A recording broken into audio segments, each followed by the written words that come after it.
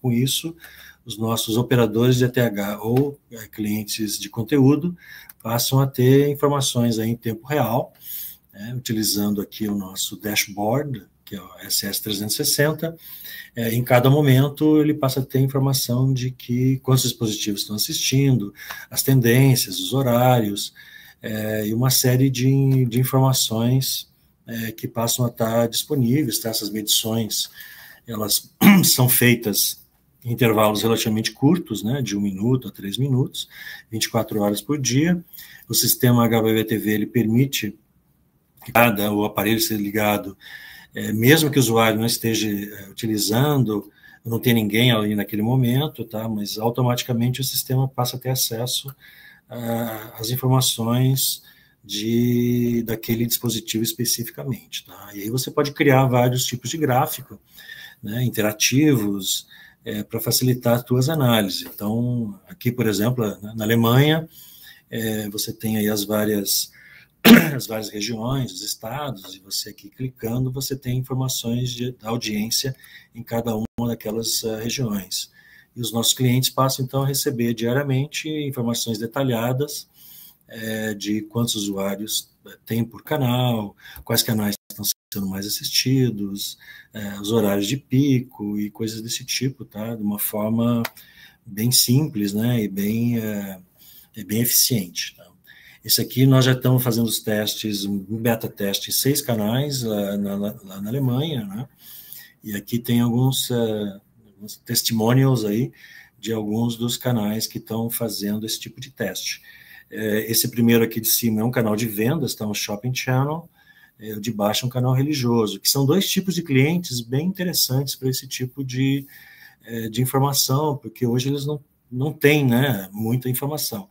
Então, um canal de vendas, por exemplo, imediatamente ele consegue associar né, é, a audiência né, com o nível de vendas e pode ir é, utilizando esse tipo de informação para melhorar de novo a, a, as vendas dos seus uh, produtos ali e a monetização do seu canal. A mesma coisa, obviamente, no canal religioso, né, embora não esteja vendendo ali, é, mas os canais religiosos hoje não têm muita informação é, de como eles estão sendo vistos aí, né, por quem, quais regiões que, que vem mais, então você passa a ter acesso a uma quantidade bem grande aí de, de informações. Então, esse basicamente é o foco é, desse tipo de, de tecnologia, né? São os canais abertos, são os canais shopping channels, são os canais de entretenimento, de notícias, canais religiosos, é, canais esportivos, obviamente, né? Esses canais lá fora que são muito populares, que são esses canais que faça você mesmo, né? Esses deal channels. Então, é, esses aí são os que a gente né, detetou que a gente consegue ajudar bastante aí a, a monetizar melhor, né?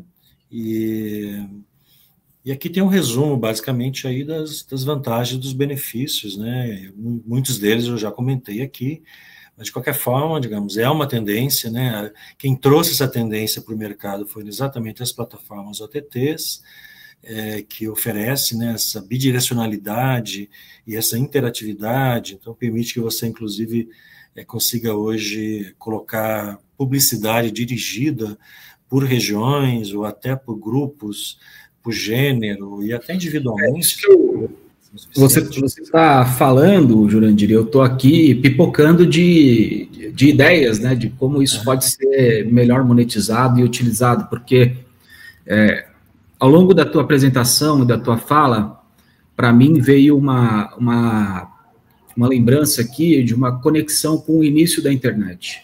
Né? Se a gente comparar o início da internet como uma analogia, a gente está falando de, inicialmente, ter um comportamento ainda é, direcionado, ainda com um, um, um legado da mídia de massa, então vai tentar se replicar um pouco na internet os modelos da mídia de massa.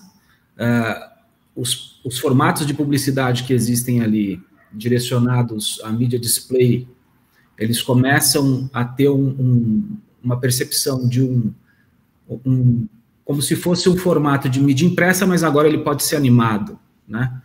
e você começa a perceber a entrada de vários outros players, muitos players é, regionais, né?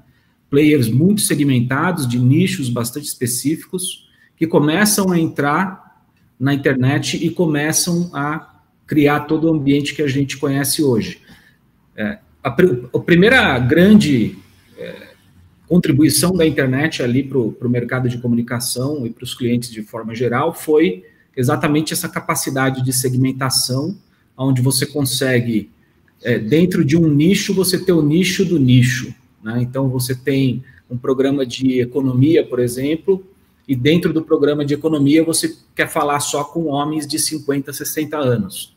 Você consegue fazer essa segmentação. Então, algumas coisas me vêm à, à, cabeça nessa linha de comparação, e uma comparação olhando para o futuro com o que existe hoje da internet, né?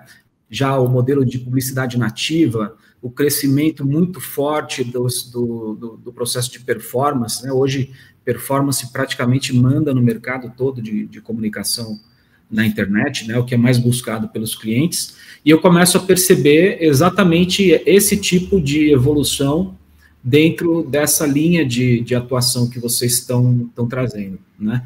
Então, no primeiro momento, ele permite esse mapeamento mais profundo da audiência, um entendimento mais claro, você consegue ter um direcionamento por targeting, você consegue ter um direcionamento de retargeting de acordo com a resposta, o comportamento do consumidor, você consegue fazer um trabalho mais direcionado, já conectado com as tendências de live marketing, por exemplo, né? Você até citou é, empresas de shoppers, né? entrando nesse, nesse aspecto, trazendo as suas estruturas para dentro do, do, do, canal.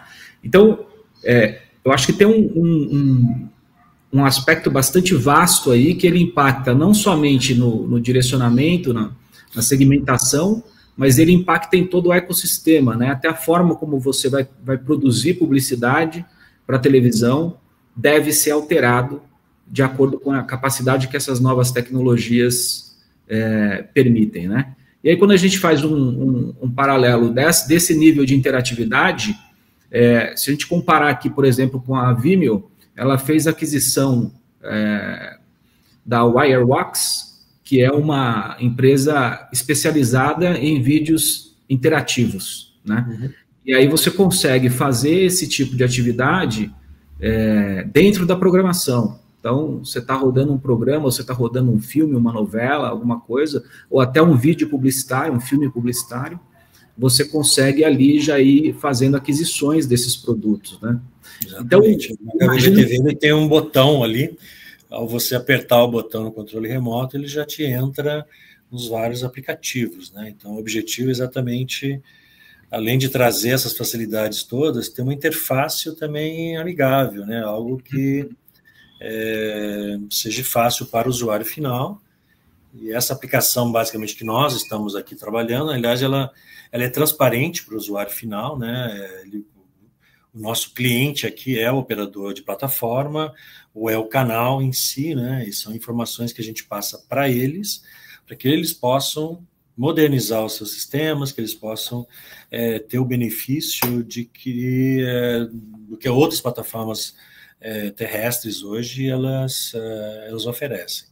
Porque uma coisa também que né, gente, é bom assim, a gente sempre reforçar, né, e por isso que eu estou colocando isso, um exemplo aqui do DTH, é, existem muitas regiões ainda do, do, mundo, né, o Brasil é um caso, e mesmo na Alemanha, né, nós, é, a SES, único, a única operação direta que ela tem de direct consumer é na Alemanha, né, que é um país altamente fibrado, altamente conectado, mas uh, que tem operações de DTHs ainda importantes, exatamente porque tem muita, muita residência ainda é, que não está conectado. Então, é, ou não conectado numa, numa velocidade, digamos, suficiente para você substituir uma televisão tradicional é, por um cabo ou pelo satélite, simplesmente pelo streaming.